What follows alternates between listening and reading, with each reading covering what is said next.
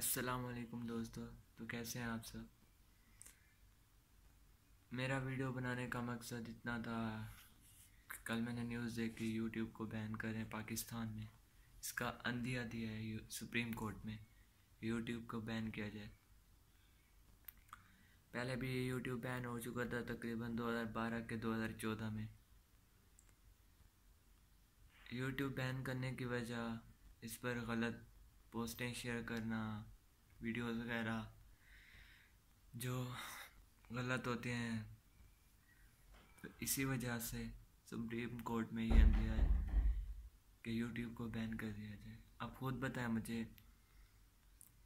इन चंद videos की खातिर इतने बड़े प्लेटफॉर्म को क्या बैन करना चाहिए, जिससे बहुत सारे लोग, गरीब लोग, जो यूट्यूब पर हैं इसी से कमा रहे और ये अब इसके पीछे लगे हैं। इनको टिकटॉक बैन करनी चाहिए ना।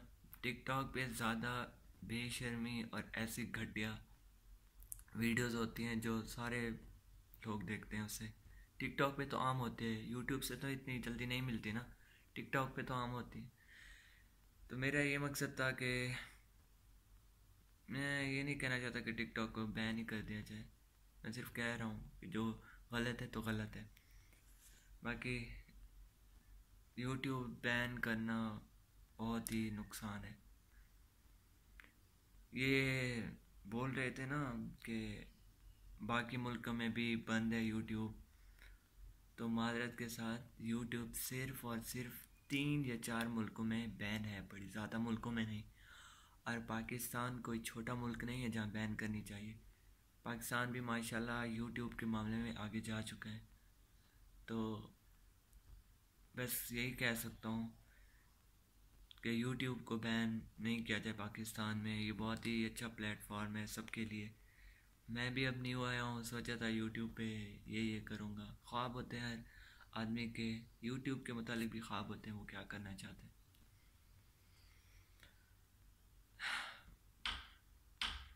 यूट्यूब दुआ करें, बैन ना हो। क्योंकि पीटीए वालों का कोई भरोसा भी तो नहीं है ना। कोई चीज़ भी बंद कर दे सकते हैं। पबजी बन, बैन हो गई है। पता नहीं इसको कब बैन बंद करते हैं।